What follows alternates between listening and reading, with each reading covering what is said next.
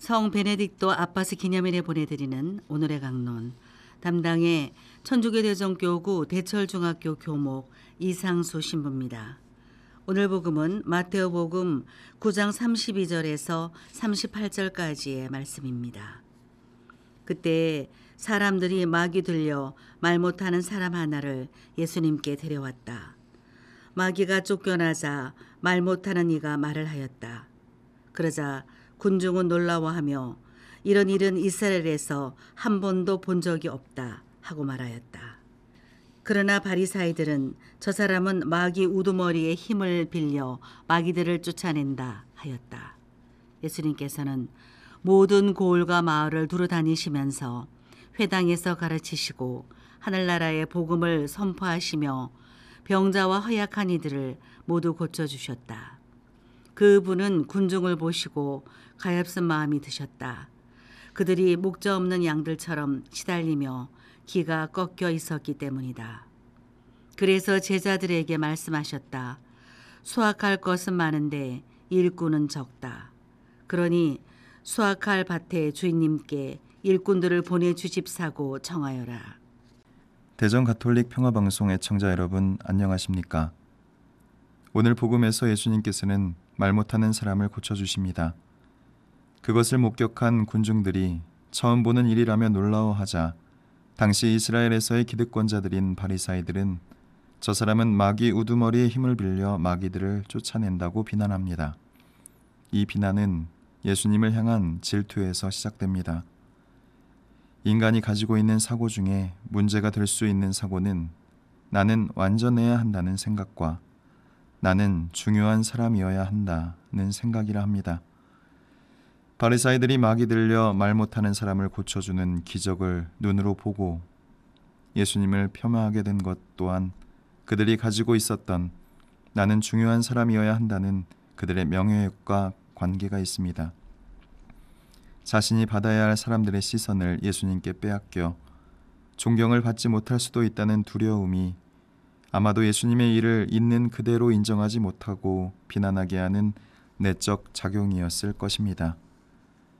때문에 오늘 복음을 보면서 묵상해야 할 사실은 우리 주위에서 일어난 선한 일에 대한 우리의 태도입니다. 긍정의 시선으로 바라보느냐 아니면 부정의 시선으로 바라보느냐 주위의 선한 일들을 부정의 시각으로 바라보고 있다면 그만큼 우리의 마음과 생각이 잘못되고 있다는 신호임을 깨달아야 합니다. 형제자매 여러분, 오늘은 기도하고 일하라는 가르침으로 유명한 베네딕토 성인 기념일입니다. 스콜라스티카 성녀의 친오빠이기도 했던 베네딕토 성인은 수도원의 공동생활에 관한 규정을 설립하신 성인으로 삶의 마지막 순간까지 오로지 주님께서 기뻐하시는 일을 하고자 노력했고 거룩한 수도 생활을 위해 온 삶을 봉헌하셨던 분이셨습니다. 이처럼 베네딕토 성인께서는 삶의 마지막 순간까지 주님을 위해 할 수 있는 모든 것을 다 하시고 주님 품에 돌아가신 분이십니다. 우리는 나이가 들수록 걱정이 많아집니다. 건강을 잃게 될까? 아무 일도 하지 못하는 건 아닐까? 다른 사람에게 짐이 되는 것은 아닐까? 참 많은 걱정들이 쌓여가죠.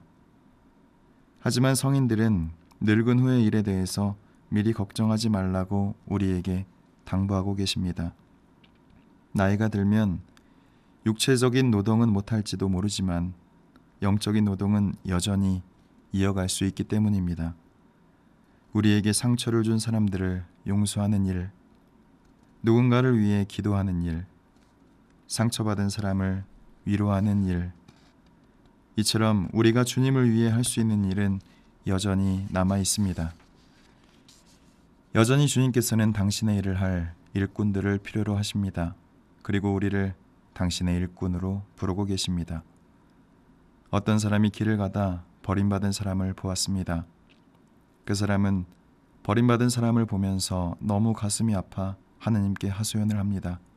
왜 하느님께서는 저렇게 버려진 사람들이 생겨나게 하십니까? 왜 하느님께서는 저렇게 버려진 사람들에게 아무런 도움을 주지 않으시는 겁니까? 그 사람이 이렇게 한참을 원망하며 기도하고 있을 때 하늘에서 조용한 음성이 들려왔습니다. 그를 위해 내가 너를 보내지 않았느냐? 주수할 것은 많은데 일꾼은 적다 하신 주님의 말씀에 주님, 제가 여기 있습니다. 라고 응답할 수 있기를 청해 봅니다. 오늘의 강론 지금까지 담당해 천주교 대전교구 대철중학교 교목 이상수 신부였습니다. 내일도 이상수 신부의 강론이 계속됩니다.